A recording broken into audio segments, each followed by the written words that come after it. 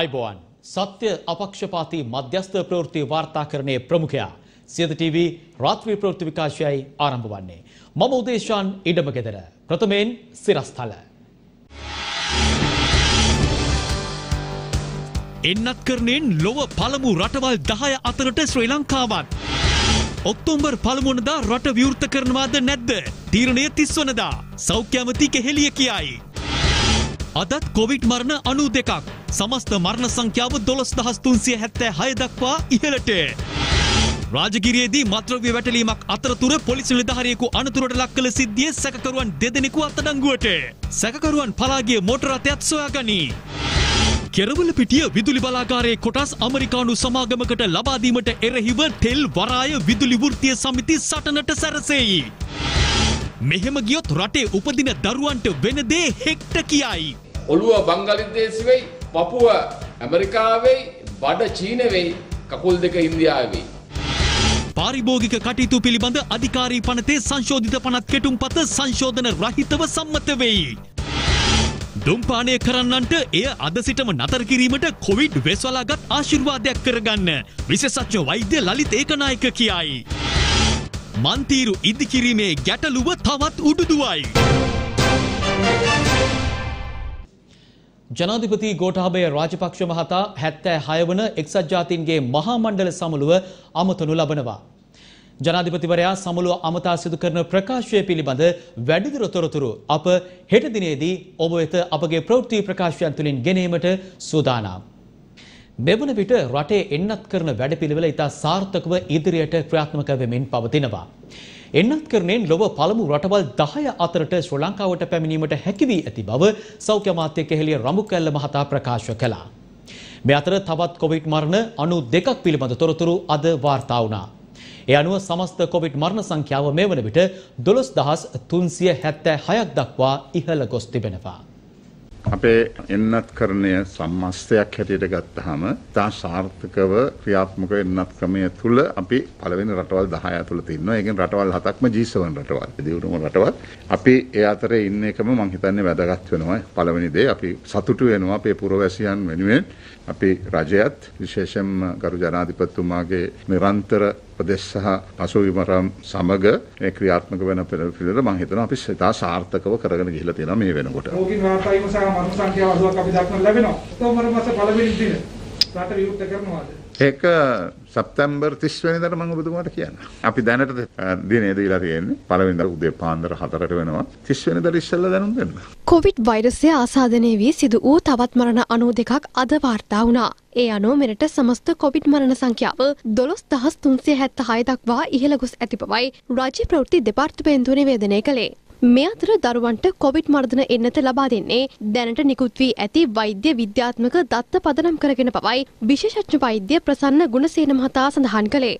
පාසල් ආරම්භ කරන්න කියලා නිර්දේශ දීලා තියෙනවා. එතකොට පාසල් ආරම්භ කරන්න පෙර ළමයින්ට එන්නත් කරන්නේ අවසන් කරන්න බලාපොරොත්තු වෙනවද කොහොමද? ඒ සම්බන්ධයෙන් ඇත්ත වශයෙන්ම ලෝකයේ තාම මම හිතන්නේ හරියටම තීන්දුවක් තියෙනවා කියලා. ලෝකයේ ඇතැම් රටවල් තියෙනවා එන්නත් කරන්නට පස්සේ පාසල් ආරම්භ කරපු රටවල්, සමහර රටවල් තියෙනවා පාසල් ආරම්භ කරලා තියෙනවා එන්නත් කරන්න කලින්. ඒ නමුත් ලංකාවේ එන්නත් කරන්නේ සඳහා කොහොමද පාසල් විවෘත කරන්නේ කොහොමද කියන එක පිළිබඳ නිර්දේශයක් නැවතත් අර ACCD කියන ආයතනය අපේ එන්නත් කරන්නේ සහ වසංගත සම්බන්ධ විශේෂඥ කමිටුව තමයි කියන්නේ. එයාගේ නිර්දේශයන් අනුව ආරම්භ කළ හැකි පාසල් ආරම්භ කරනවා එන්නත් කරණයෙන් පස්සේ ආරම්භ කළ යුතු පාසල් එන්නත් කරණයෙන් පස්සේ ආරම්භ මේ අතර පුද්ගල සරුභාවයට එන්නත් කරණයෙන් කිසිදු බලපෑමක් නොමැති බව විශේෂඥ වෛද්‍ය අජිත් කරවිට මහතා පවසනවා. HIV ආසාදනයක් තියෙන කෙනෙකුට COVID ආසාදනය ආවම ටිකක් යම් තරමක අවදානම් තත්ත්වයක් නැතිවීමේ ප්‍රවණතාවයක් තියෙනවා. ඒ වගේම HIV ආසාදනය නිසා කෙනෙක්ගේ ප්‍රතිශක්තිය දුර්වලයි කෙනෙක් නම් ඒ අයට අර වැක්සින් කන්වර්ෂන් එක පොඩ්ඩක් ප්‍රමාද වෙන්න පුළුවන්. ඒ කියන්නේ ප්‍රතිදේහ ගොඩ නැගීමට යම් කිසි කාලයක් ගත වීම වගේ කාරණා නිසා ඒගොල්ලෝ COVID වලට තියෙන ආරක්ෂිත තත්ත්වය තරමක් අඩුවීමක් වෙන නිසා ඉක්මනින්ම ලබාගත හැකි එන්නත ලබා ගන්න කියලා අපි ආරාධනා කරනවා. ඒ වැක්සින් එක දීලා පළවෙනි ඩෝස් එක දෙවෙනි ඩෝස් එක දීලා පස්සේ සරුභාවය සඳහා පරීක්ෂණ කරලා තියෙනවා. ඒ පරීක්ෂණ වලින් පැහැදිලිව කියනවා මේ වෙනසක් වෙලා නැහැ. ෆැෂන් එකට මේකට බය වෙන ගතියකුත් තියෙනවා වගේ පේනවා. ස්නායු රෝග බොහෝ විට අපි දකින්න ලැබෙනවා මේ කොවිඩ් රෝගීන් අතර. මේ කොවිඩ් රෝගය ආරම්භ වීමට හඳුනා ගැනීමට කලින් තියෙන අවස්ථාවල් වගේම කොවිඩ් රෝගය නිසා රෝගියා රෝහල්ගතව ඉන්න අවස්ථාව තුලත් ස්නායු රෝග සහ රෝග ලක්ෂණ ඇති. බොහෝ විට අපි දකිනවා හිරිවැටි, ඒ අනිනව වගේ දැනෙනවා. ඒ වගේ රෝග ලක්ෂණ සමග රෝගීන් අපිට පැමිණෙනවා. සුවය ලැබලා ගෙදර ඉන්න අයත් නිින්ද ඇතිතරම් ලබා ගැනීම වැදගත්, ජලය ලබා ගැනීම, සාමාන්‍ය ව්‍යායාමයක් නිරන්තරයෙන් කරන්න පුරුදු වීම Tamanට පුළුවන් මට්ටම තුළ නොකළ යුතු දෙයක් තමයි අධික ව්‍යායාම ලබා ගැනීම. දුම්පානය කරන පුද්ගලයින්ට එය නැවැත්වීමට කොවිඩ් වෛරසය වෙස්වලාගත් ආශිර්වාදයක් වී ඇති බව කායික රෝග පිළිබඳ විශේෂඥ වෛද්‍ය ලලිත් ඒකනායක මහතා අද සියතට ප්‍රකාශ කළා. දුම්පානය නිසා ලෝපුරා වසරකට අහිමිවන ජීවිත සංඛ්‍යාව මිලියන අටක්. දුම්පානය කරන අයට මෙම රෝගය වැළඳුනාම අසාධ්‍යතාවයට පත්වීම සහ මිය යෑම ප්‍රවණතාවය අනිකුත් රෝගීන්ට වඩා වැඩි. මේකට හේතු හරියම පැහැදිලි. කොරෝනා වෛරසය ආක්‍රමණය කරන්නේ අපගේ ශ්වසන පද්ධතිය. එම නිසා දුම්පානය කරන අයගේ ශ්වසන පද්ධතිය දුර්වලයි. වෛරසය ඊට ඉක්මනින් අපගේ ශ්වසන පද්ධතිය ආක්‍රමණය කරන්නට පුළුවන්. දුම්පානය කිරීම නිසා හෘදයාබාධ, අධිරුධිර පීඩනය, කොලෙස්ටරෝල් වැඩි වීම, දියවැඩියාව, ඒ වගේම තමයි පෙනහැල්ලේ ආබාධ, පෙනහැල්ලේ පිළිකා, ලිංගික දුබලතාවය වෙන රෝගාබාධ ඇති වෙනවා. දුම්පානය කිරීම නිසා ලෝකයේ වසරකට මිලියන 8ක් පමණ ජනතාවක් මිය යනවා. දැනට කොරෝනා රෝගයෙන් නිසා මිය ගිහිලා තියෙන්නේ මිලියන 4.5ක්. එතකොට ඔබට හිතාගත්ත හැකිනේ මේ දෙක සම්බන්ධ කරපුවාම මොකක්ද ඇති වෙන තත්ත්වය කියලා. ඒ වගේම තව අපි හොඳින් නිරීක්ෂණය කරපු දෙයක් තමයි දුම්පානය කරන කෙනෙකුට කොරෝනා රෝගය වැළඳුනහම ඒ පුද්ගලයා අඩුම වශයෙන් කොරෝනා රෝගය හොඳ වෙන තෙක්වත් දුම්පානය කිරීමෙන් වළකිනවා. මොකද අපි දන්නවා කවුරු මොනවා කිව්වත් අපි මරණයට බයයි. පුද්ගලයන්ට උපදෙස් දෙනවා දිගටම දුම්පානය කිරීමෙන් වළකින්නද කියලා. මොකද කොරෝනා රෝගියෙත් තියෙනවා ලේකැට ගැසීමේ ප්‍රවණතාවය. ඉතින් මං හිතන්නේ මේ කොරෝනා වසංගතය හොඳ නිමිත්තක් හොඳ උත්තේජයක් දුම්පානය කරන අයට එය නවත්වා ගැනීමට සහ එය දිගටම තබා ගැනීමට. දුම්පානය කරන කෙනෙක් දුම්පානය නවත්වා ගත්තහම ඇතිවන ප්‍රතිඵල ක්ෂණිකයි ඒ වගේම ඉතාමත්ම සිත් ගන්නා සුළුයි. පළවෙනි විනාඩි 20 දී දුම්පානය නතර කිරීමෙන් ඔබගේ හෘද ස්පන්දනය සහ රුධිර පීඩනය සාමාන්‍ය වෙනවා. පැය 12ක් යනකොට ඇඟේ තියෙන කාබන් මොනොක්සයිඩ් කියන විෂ සහිත වායුව ඉවත් වෙනවා. සති 12ක් යනකොට හෘද වස්තුව සහ පෙනහල්ලු සාමාන්‍ය තත්ත්වයට පත් වෙනවා. වසර 4ක් විතර යනකොට ධූම්පාන නිසා ඔබට තිබූ මරණ වරෙන්තුව ඔබගෙන් ඉවත් වෙනවා. ඉතින් මං හිතන්නේ මාරාන්තික කොරෝනා වසංගතය දුම්පානය කරන අයට එය නැවත්වීමට ලැබුණු විශ්වලාගත ආශිර්වාදය. මේ දිනවල කොවිඩ් අතරේ රටම උණුසුම් කර ඇති මාතෘකාවක් බවට කෙරවල පිටිය විදුලි බලාගාරය පත්ව තිබෙනවා. එහි කොටස් සියයට හතලියක් හොර රහසේම අමරිකානු සමාගමකට ලබා දුන් බවටයි රජයට චෝදනා එල්ල වන්නේ. මේ ගැන සාකච්ඡා කිරීමට රජයේ පක්ෂ කිහිපයක්ම පසුගියදා එක් වුණා. මේ අතර තෙල් විදුලි සහ වරාය වෘත්තීය සමිති මීට එරෙහිව දැවැන්ත විරෝධතාවයකට සැරසෙනවා. දේශප්‍රේමය කට දෙපැත්තෙන් කෙලපෙරනෝගේ පෙරාගෙන ආපු පාලකයෝ තමන්ගේ කැබිනට් ඇමතිවරුන්ටත් ප්‍රජාතන්ත්‍රවාදය නොදෙන රටක මෙරටේ ජනයට ප්‍රජාතන්ත්‍රවාදයක් දෙයිද?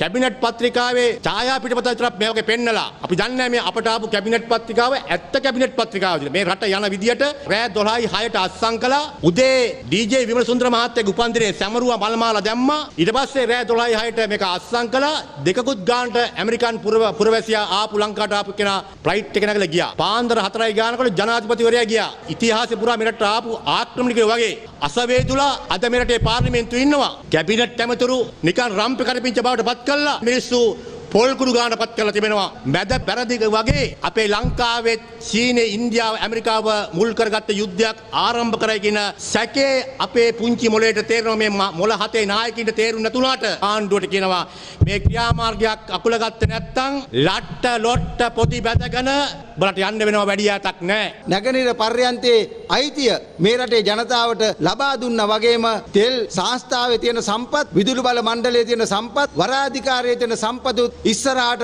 කාටවත් විකුණන්න දෙන්නේ නැහැ. ඒවල අයිතිය මේ රටේ ජනතාවට මිසක් චීනයටවත් ඇමරිකාටවත් ඉන්දියන් කාර්යයටවත් විකුණන්න දෙන්නේ නැහැ කියන මතක් කිරීම කරනවා. මේ ආණ්ඩුව ගේන්න අපි විශාල වැඩ කොටසක් කරා. ඒ දීපු පොරොන්දු පිළිබඳවයි ආණ්ඩුවට මතක තියෙන්න ඕනේ. ඉන්දියන් කාර්යය, ඇමරිකන් කාර්යය, චීන කියන විදිහට වැඩ කරන්න ගියොත් එහෙම ඊළඟ ඡන්දේ තියෙන්නේ අපේ අතේ. අපිත් ඒ වෙලාවට නිවැරදි තීන්දුව ගන්නවයි කියන මතක් කිරීම කරනවා. නොරොච්චෝල විදුලි බලාගාරයේ එක ජනක යන්ත්‍රයක් නැවතුනොත් මෙගාවට් 300ක් නැතිවෙනවා. එක පළාතක විදුලි නැතිලා දැන් මෙගාවට් 900ක් නැති වෙලා යන රටක මෙගාවට් 1000ක් නැතුනොත් මුළු ලංකාවටම විදුලි බලය නැති වෙලා යනවා. ඔවුන්ට ඇති වෙනවා පැහැදිලිවම කේවල් කිරීමේ බලය. මේ බලන්න නාගරික සංවර්ධන අධිකාරියෙන් දාලා තියෙන දැන්වීම ඩී.ආර්. විජේවර්ධන මාවතේ තියෙන නෙළුම් කුළුම ළඟ ඉඳලා එම ලේක් හවුස් ආයතනය පහු වෙනකම්ම මේ 99 අවුරුදු බදු වලට මේවා විකුණන්න දාලා තියෙනවා. ඒ වගේම වි- කොච්චර වටිනවද නුවරඑළියේ අක්කර 13ක් ලබා දෙන්න දාලා තියෙනවා. එහෙනම් මේවා කාගේවද මේ නැතිවෙලා යන්නේ? අපේ බුතුන් මිත්තන් දිනාගත්තු ජයග්‍රහණයන්. විශේෂයෙන්ම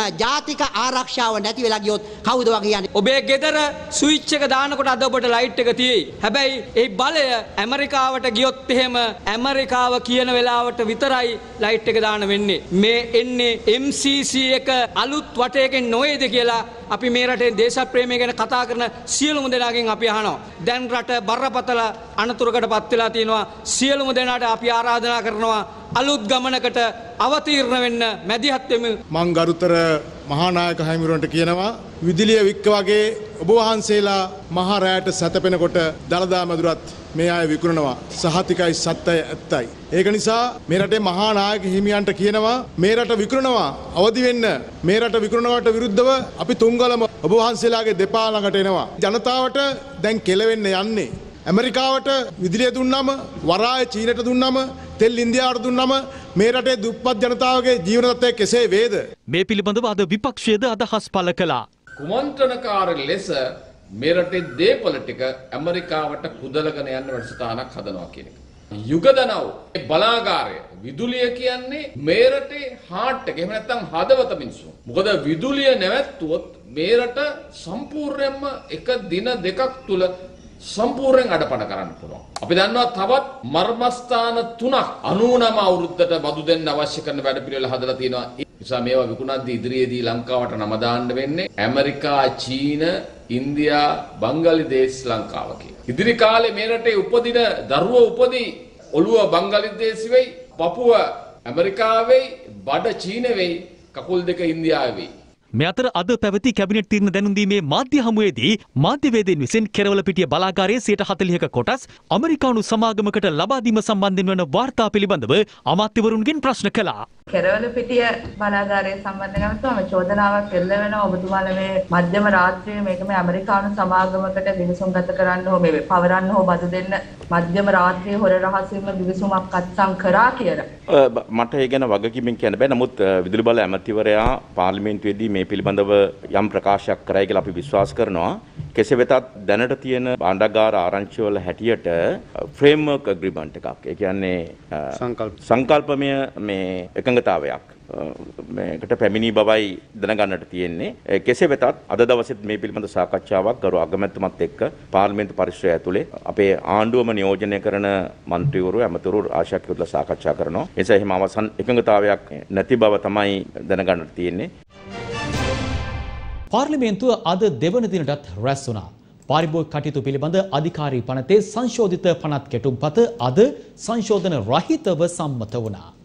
ලංකා ජාතික වතුකම්කරු සංගමයේ ප්‍රධාන ලේකම් ලෙස ජාතික වෘත්තීය සමිති සම්මේලනය සභාපති වශයෙන් සේවය කරමි. එම සංගම මූලස්ථානයට හිටපු පාර්ලිමේන්තු මන්ත්‍රී පිරිසක් ඇමති ආරක්ෂක වංශයේ නිලධාරීන් සහ නාදුරණ පිරිසක් පොළු සමග බලත්කාරයෙන් එතුරුවට වදී. මේ සංගමයේ පිළිබඳව නඩුවක් උසාවියේ තිබුණා. ඒ අනුව తాවකාලික නියෝගයක් හම්බුණා යෝගරාජන් මැතිතුමා එතනට පත් කළා. එතනදී මෙතුමත් ඇවිල්ලා ප්‍රශ්නයක් ඇති වෙලා ඒක පොලිසියට ගිහින් දැන් පසුව උසාවියට අපහාස කිරීමේ චෝදනාවක් දාලා තියෙනවා. උසාවියේ තීරණයෙන් පස්සේ මේක මේ මෙතෙන්ට අරගෙන කතා කරන්න කියලා. මේවා මෙතන සභාවට හෙලි කරේ නැහැ. ඔබතුමාගේ ආරක්ෂාව නෙමෙයි. you you sit you sit down men. මේ වාඩි වෙන්න කියන්නේ මේ මේ පිස්සට මේ මේ පිස්සට වාඩි වෙන්න කියන්නේ. කරුණා කරලා නිසද්දෙන් මත්තම එතුමාට කතා කරන්න ඉඩ දෙන්න. නඩුව ගැන කියන්නේ. හරි. මේ Victims and Witness Protection Authority that already written to them to en ensure the safety and security and dignity of these prisoners. Yesterday at the cabinet decided that we'll appoint a retired High Court judge to inquire into this independently and report to us and thereafter to take further action. Captopril syrup ඒගොල්ලෝ 395ට ගත්තලු මම 55150 අමූලික බොරුවක්. මේ ඖෂධය අපි අරගෙන තියෙන්නේ රුපියල් 475කට. මම ඊයේ කිව්වේ 2019 වර්ෂයේ පළවෙනි මාස 10ට විතරක් කරපු වංචා ටික විතරයි 2015 ඉඳන් 19 වෙනකන් ඒ අවුරුදු දෙකට කරපු වංචාවලට අදාළ ලිපි ලේඛන ටිකත් මං ඉදිරියේදී අනිවාර්යයෙන්ම සභාගත කරනවා NRM එක සම්බන්ධයෙන් ගිවිසුම් ගත වෙන 2018 දී මම ICT සම්බන්ධයෙන් බාර හිටපු අමාත්‍යවරයා. පට්ට පල් අමූලික ලැජ්ජ නැති බොරුවක් කිව්වා. මේවා තමයි නියම වෛරස්. ඩිජිටල් ක්‍රමය හරියන්නේ නැහැ. පරණ ක්‍රමයට යන්න ඕන කියන්නේ නොදකින් ලෝකේ රටවල් ඩිජිටල් කරනවා. අපි යනවා ගල් යුගයට. මැරෙන මිනිස්සු විදියට අපි දැනගන්න ඕනේ අපිට තව වැඩිම වෙසක් පොයවල් කීයද පන්සල් යන්න පුළුවන්. රූපං ජීරති නච්චානං නාම ගොත්තන් නදීරති වංචා කරලා කිසි කෙනෙක් කිසි දෙයක් ගෙනිල්ලා නැහැ. සෙක්කුවක් ළඟ ඉඳගෙන චොක්ලට් කෑවට බලාගෙන ඉන්න සියලු දෙනා පුන්නක්කු කනවයි කියලා හිතන යුගය වෙනස් කිරීම සඳහා සත්‍ය මත පිහිටලා කටයුතු කරන්න. සුදුලූණු කතාවට උත්තරයක් ආවේ නෑ. මොකද එතුමාට සුදුලූණු වලින් හොරකම් කරපු එක කවුද කියලා කියන්න බෑ. ලූණු වලින් හොරකම් කරපු එකා පිළිබඳ නියෝජ්‍ය පොලිස්පති අත්සන් කළා දීලා එවලා තියෙන්නේ පරීක්ෂණය යනවා. පාරිභෝගික ආරක්ෂා කිරීම පිළිබඳව අපි ඉදිරි මාස තුනක් ඇතුළත ඒ ගේන පුළුල් සංශෝධනය කරුණා කරලා අපිට පලදායි අදහස් යෝජනා ලබා දෙන්න. අපි සිමෙන්ති සහ පිටි කිරිපිටි සමාගම් වලට කිව්වා තමන්ගේ පිටරට මව් සමාගම් වලින් මාස 6කටවත් ණයට මේවා මිලදී ගන්න ඩොලර් පිළිබඳව ප්‍රශ්නේ දාලා නිෂ්පාදනය නවත්තන්න එපා කියලා. ඔබතුමා එම ගිවිසුමකට යන්න සූදානම් වෙලා තිබුණා. ඒ ගිවිසුම් වල යම් වගන්තියක් තිබෙනවද මේ කොවිඩ් වසංගත තත්ත්වය වගේ තත්ත්වයක් ආපුවාම ඒ මිල පාලනය ඒගොල්ලන්ට බලපෑන්නේ නැහැ වගේ. කිසිදු අදහසක් නැත. මම මේක සභාගත කරනවා කරුණාකරලා මේ මන්තුමාට මේක පිටපතක් දෙන්න. පාරිභෝගික කටයුතු පිළිබඳ සංශෝධන පනක් කෙටුම්පත දෙවනි වර කීම සභාව එකඟද? පනත් කෙටුම්පත කාරක සභාවේදී සලකා බලා සංශෝධන රහිතව සම්මත කරන ලද බව දන්වනු කැමැත්තෙමි. රටේ අලුත් මාතෘකාවක් නිර්මාණය කළ පුවතක් බවට පත් වුණා ඇවිදින මන්තීරු. පොළොන්නරුවේ ඇවිදින මන්තීරුව පිළිබඳව දැනුවත් කිරීම සඳහා රාජ්‍ය අමාත්‍ය රොෂාන් රණසිංහ මහතා අද පූජ්‍ය කොටපිටියේ රාහුල හිමියන් බැහැදුටුවා. පසුගිය දිනවල රටේ වැඩි වශයෙන් කතාබහට ලක් වූ මාතෘකාවක් බවට පත් වුණේ පරාක්‍රම සමුද්‍රයේ වැව්බැම්ම මත ඉදිකිරීමට යෝජිත ඇවිදින මන්තීරුව පිළිබඳවයි. මහා සංඝරත්නය සහ විවිධ පාර්ශවයන්ගේ විරෝධතා මැද්දේ මේ වන විට මෙහි ඉදිකිරීම් කටයුතු නතර කර දමා තිබෙනවා. මේ අතර මේ සම්බන්ධයෙන් දැනුවත් කිරීම සඳහා රාජ්‍ය අමාත්‍ය රොෂාන් රණසිංහ මහතා අද පෙරවරුවේ වාත්තුව ශ්‍රී බෝධිරාජාරාම විහාරාධිපති කෝට්ටේ ශ්‍රී කල්යාණී සාමග්‍රී ධර්ම මහා සංඝ සභාවේ අනුනායක මහාචාර්ය පූජ්‍ය කොටපිටියේ රාහුල හිමියන් බැහැදුටුවා. දැනට තියෙන මේ දේශපාලන වාතාවරණය සමාජමය වාතාවරණය පිළිබඳව අපට තියෙන්නේ ලොකු කලකිරීමක්. බොහෝ කටයුතු සිද්ධ වෙනකොට මේ රටේ සිද්ධ වෙන්නේ අවංකව නෙවෙයි කියන එක තමයි පැහැදිලි වෙන්නේ. එච්චර බර වාහන එච්චර බර දේවල් යන්න මේ බැව් වැව් බැම්ම ශක්තිමත් නම් මිනිස්සුන්ට පයින් යන්න පොඩ්ඩක් මේ මාර්ගයේ පේමන්ට් එකක් වාගේ ගල් ටිකක් අල්ලලා සකස් කිරීම බරද්ද කියන එක මට නම් ප්‍රශ්නයක්. අනුනා හිමියන් බැහැදකීමෙන් අනතුරුව රාජ්‍ය අමාත්‍යවරයා මාධ්‍යට මෙලෙස අදහස් පළ කර සිටියා. දෙදස් විසි එකේ ජනවාරි මාසේ මේ අවශ්‍ය සියලුම අනමැති ශේෂත්‍ර පරීක්ෂාව කරනු ලැබුවා ජනවාරි මාසේ මුල. ඊට පස්සේ දහවැනිද වෙනකොට මේ සියලු අධ්‍යයනය කරලා පුරාවිද්‍යා දෙපාර්තමේන්තුව අනුමැතිය දීලා තියෙනවා. වාරි මාර්ග දෙපාර්තමේන්තුවේ අනුමැතිය දීලා තියෙනවා. මාර්ග සංවර්ධන අධිකාරිය අනුමැතිය දීලා තියෙනවා. පළාත් මාර්ග අධිකාරිය අනුමැතිය දීලා තියෙනවා. ඒ වගේම නගර සභාවේ අනුමැතිය දීලා තියෙනවා. මහනගර සභාවේ තෝපා වැව බාරව ඉන්නේ ඒ ප්‍රදේශයේ පූජනීය නගරයක් විදියට අපේ අනුනායක නායක හාමුදුරුව වේන්ඩරුවේ උපාලි හාමුදුරුවෝ. ඉතින් උන්වහන්සේ පූර්ණ ආශිර්වාදය අනුශාසකත්වය අනුමැතිය දීලා තියෙනවා මේ කටයුතු ටික කරන්න. රජයට මේ වන විට මන්තීරු මේනියාව වැළඳී ඇති බවයි පාර්ලිමේන්තු මන්ත්‍රී ජේ.සී. අලවතෝල මහතා පවසන්නේ. දැන් මන්තිරු මේනියාවක් මේ ආණ්ඩුවට තියෙනවා. දැන් මේ පරක්ක සමුද්‍ර විතරක් නෙවෙයිනේ. ගොවි ජනතාවට ප්‍රශ්න ගණනාවක් තියෙනවා. එක පැත්තකින් තමන්ගේ වී ටිකට හරි මිලක් මිලකට විකුණ ගන්න බැරි ප්‍රශ්න ගණනාවක් ඇවිල්ලා තියෙනවා. ඒ වගේම අලි වැටක් නැතුව දුක් විඳින විශාල පිරිසක් අද මේ ප්‍රදේශවල අපි දකිනවා. ප්‍රශ්න ගණනාවක් තීදි තමයි මන්තිරු වලට ප්‍රමුඛතාවය දීගෙන අපිට සංස්කෘතික උරුමයක් තියෙන මෙවැනි පරාක්‍රම සමුද්‍රය වැනි වැව් මුල් කරගෙන මේ රජය සිදු කරන්න යන්නේ. මෙම ඇවිදින මන්තීරුව ඉදිකිරීමට පරාක්‍රම සමුද්‍රය සුරකීමේ ව්‍යාපාරය දිගින් දිගටම සිය විරෝධය පළ කරමින් සිටින පසුබිමක අද දින පරාක්‍රම සමුද්‍රය යටතේ ගොවිතැන් කටයුතු සිදු කරන ගොවි ජනතාව ප්‍රකාශ කර සිටියේ මෙම ව්‍යාපෘතිය තුළින් වැව්බැම්මට හොඳ ආරක්ෂාවක් ලැබෙන බවයි. අන්තිමට හදුවන් පස්සේ මේකට මොනතරම් බංචකට වැවට අපිට මොනතරම් සත්‍යමත් වෙනවද? ඒතකොට අලංකාර වෙනවද? ලස්සන වෙනවද? ඒ ඒ වගේම තමයි මේ බන්ටක අපිට අපිටවත් ඇවිල්ලා ටිකක් ඇවිදලා බලලා සන්තෝෂලා යන්න පුළුවන්. ඒකෙන් කිසි වැවටවත් නෑ. එහෙම නැත්නම් මේ තව කෙනෙකුට හර මේ කිසිම මේ කරදරයක් නැති දෙයක්. පරක්කම් බහුව වැවෙන් තමයි අපි පෝෂණය වෙන්නේ. අපේ කුඹුරු ඒ සියලු දෙම කරන්නේ මේ වැවේ යන වතුර ටිකෙන්. එතකොට අපි ඇත්තටම මේ වගේ සංවර්ධනයක් කරලා මේ වගේ වැවක් ප්‍රතිසංස්කරණය කරලා මේ බන්ටක ශක්තිමත් හදනවට අපි හදවතින්ම රොෂාන් රණසිංහ ඇමතුමාට අපි ස්තුතිවන්ත වෙනවා. මොකද ඒක බලන් ඉන්න බැරි ජඩයෝ ටිකක් ඇවිල්ලා මේ කඩා කප්පල් කරනවා. ඇත්තටම මේක අපේ දරුවන්ට ලොකු වාසනාවක් අපේ දරුවන්ට අපේ දරුවන්ට ලොකු සම්පතක් මේක. රාජගිරියේදී මත්ද්‍රව්‍ය වැටලීමකට ගිය පොලිස් නිලධාරියෙකු අනතුරකට ලක්කර පලා ගිය සැකකරුවන් දෙදෙනෙකු පොලිසිය විසින් අත්අඩංගුවට ගැනීමට සමත්ව තිබෙනවා. මෙම සිද්ධිය හා සම්බන්ධ මෝටර රථයේද සොයාගෙන ඇති බවයි පොලිස් මාධ්‍ය ප්‍රකාශක ජ්‍යෙෂ්ඨ පොලිස් අධිකාරී නිහාල් තල්දුව මහතා ප්‍රකාශ කළේ. පසුගිය 20 වන දින රාජගිරිය ඔබේසේකරපුර මන්සන්දියේදී මත්ද්‍රව්‍ය වැටලීමකට සහභාගී වූ පොලිස් නිලධාරියෙකු අනතුරට ලක්කර පලා යාමට කටයුතු කරන ලද කාර්යතය සහ තවත් සැකකරුවන් දෙදෙනෙකු අද දින තලංගම පොලිස් ස්ටේෂනයේදී අත්අඩංගුවට ගනු ලැබුවා. ඒ වගේම මෙම පලා යන ප්‍රධාන සැකකරු මේ වන විට හඳුනා ගැනීමට කටයුතු කර තිබෙනවා. ඔහු නුගේගොඩ ප්‍රදේශයේ පදිංචි සැකකරුවෙකු බවත් පෙර අපරාධවලට සම්බන්ධ සැකකරුවෙකු බවත් මේ වන විට හඳුනාගෙන තිබෙනවා. ඔහු පදිංචි නිවස පොලිස් නිලධාරීන් විසින් පරීක්ෂාවට ලක් කරනු ලැබුවා. ඉදිරි විමර්ශන කටයුතු සිදු කර සැකකරු අත්අඩංගුවට ගැනීම සඳහා අවශ්‍ය පියවර ගනිමින් පවතිනවා. විශේෂ පොලිස් කණ්ඩායම් කිහිපයක් මේ සම්බන්ධයෙන් ක්‍රියාත්මකයි. ගුරු විරෝධතා හමුවේ දරුවන්ගේ ජීවිත සහ කාලය විනාශ වෙමින් පවතින බව ශ්‍රී ලංකා පොදු ජන අධ්‍යාපන සේවා සංගමය පවසනවා. ඒ අද කැඳවා තිබූ මාධ්‍ය හමුවකට එක් වෙමින්. අපි මොන ආකාරයකට හරි මේ 45 ලක්ෂයේ දරුවන් වෙනුවෙන් අපි ඔවුන්ගේ අධ්‍යාපනය වෙනුවෙන් අපි කොන්දේසි විරහිතව පෙනී සිටිනවා. ඔවුන්ගේ අධ්‍යාපනය කඩාකප්පල් කරන්න දෙන්න බෑ. මේ ජෝසප් ස්ටාලින් මේකට වග කියනවාද? මහින්ද ජයසිංහ මේකට වග කියනවාද? මේ උද්ඝෝෂණය කරපු මිනිස්සු මේවට වග කියනවාද? මේ යන්නේ දරුවන්ගේ කාලේ. සමහර අය රස්සාවල් වලට පවා ගිහිල්ලා තියෙනවා. මේ වගේ පහත් නින්දිත වැඩ කරන්න එපා. මේ ළමයින්ගෙන් පලිගන්න එපා කියලා අපි ඉල්ලනවා. අපි සමග විදුහල්පතිවරු ඉන්නවා. ඒ නිසා විදුහල්පතිවරු සියලු දෙනා මේ වෙනකොට උසස් පෙළ විභාගය සඳහා අයදුම්පත් දාලා ඉවරයි. ඒ වගේම ශිෂ්‍යත්ව විභාගය සඳහා අයදුම්පත් දම්මින් ඉන්නවා. ළඟදීම අපි උසස් පෙළ තියෙනවා. අපි පැහැදිලිව කියනවා ආණ්ඩුවට දරුවන්ගේ මාර්ගගත ඉගැන්වීම් කටයුතු ආරම්භ කරන්නට කිසිදු වමනාවක් හෝ අවශ්‍යතාවයක් ඇත්තේ නැහැ. අපි කියනවා තවදුරටත් මර්ධනය කැඳවනවා නම් මේ සාධාරණ අරගලයේ ඉස්සරහට අපි ඒකට මූණ දෙන්නට සූදානම් අපි ඒකට බය නැතුව මූණ දෙනවා. ඔය වීරසේකර උන්නේ කොරේ හරියටම කරානම් එක දෙයයි. අනිත් කරපු ඔක්කොම ඇනගත්තා. ව්‍යාජ පැමිණිදාන ක්‍රියාවලියකට අවිල්ලා තියෙන අපි කියන්න කැමති නෝනලාට මහත්තුරුන්ට. මෙවැනි දේවල් වලින් නම් මේ සටන අඩපණ කරන්න බෑ. ඒ නිසා ඕගොල්ලන්ගේ ආණ්ඩුව ඕගොල්ලෝ හදාගත්ත ආණ්ඩුව ඒ ආණ්ඩුවේ ලොකු මහත්තුරුන්ට කියන්න ගිහිල්ලා මේ ප්‍රශ්නේ කඩිනමින් විසඳීම සඳහා වෘත්තීය සමිතිත් එක්ක සාකච්ඡා ප්‍රවේශයන්ට අවතීර්ණ වෙලා පිළිගත හැකි විසඳුමක් දෙන්න දේශපාලඥයින්ගේ උවමනාවට නීතිය නවන නීතිය හසුරවන පොලිසියේ මහත්තුරුන්ට අපි කියන්න කැමතියි.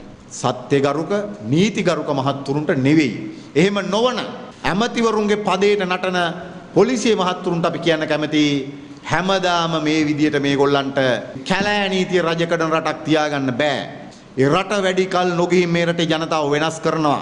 අන්න එදාට ඔය නීති විරෝධී වැඩ කරන දේශපාලඥයින්ගේ පදයට නටන දේශපාලඥයින්ගේ නියෝගවලට නීතිය හසුරුවන මහත්තුරුන්ට ඒවට වග කියන්න වෙයි.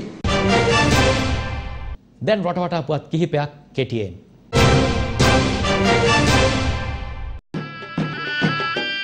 සඳහිරු සෑයේ චූඩා මාණික්‍ය සහ කොත් වහන්සේ කළුතර බෝධි පරිශ්‍රයේ තැන්පත් කර ඇති අතර දැඩි සෞඛ්‍ය ආරක්ෂණ මාර්ගෝපදේශයන්ට අනුකූලව අදත් ආගමික වතාවත් පැවැත්වුණා.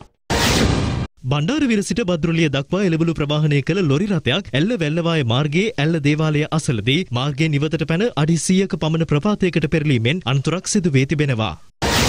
ඊශ්‍රයිලයේ සේවෙන් යුතු ශ්‍රී ලාංකිකයින් පිරිසක් පිහිටුවා ඇති කියා ගිවර්ස් සංවිධානය මගින් කටුගස්තොට රෝහලේ පවත්වාගෙන යනු ලබන කොවිඩ් ප්‍රතිකාර මධ්‍යස්ථානය සඳහා අත්‍යවශ්‍ය ජම්බෝ වර්ගයේ ඔක්සිජන් සිලින්ඩර් කට්ටල පරිත්‍යාග කිරීමක් සිදු කෙරුණා.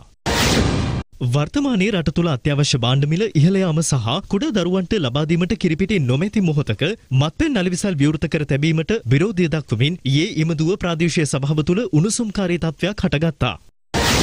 විල්පත්තුව රක්ෂිතය සිට මන්නාරම පුත්තලම ප්‍රධාන මාර්ගයකට පැමිණි බෝධිලිමිකු පිළිබඳ තොරතුරු අපට වාර්තා වුණා.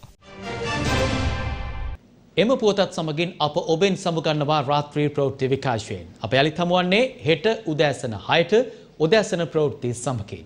ඔබට සුවදායි රාත්‍රියක්. දිනපතා අලුත් වීඩියෝ සහ ප්‍රවෘත්ති නැරඹීමට ඉහත බටන එක ක්ලික් කර සියත TV සබස්ක්‍රයිබ් කරන්න.